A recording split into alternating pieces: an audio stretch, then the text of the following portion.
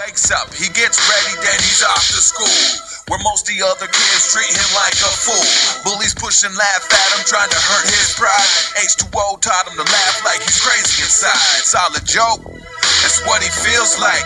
You watch the show just to take a break from real life. Can't wait till he gets home to catch a new episode.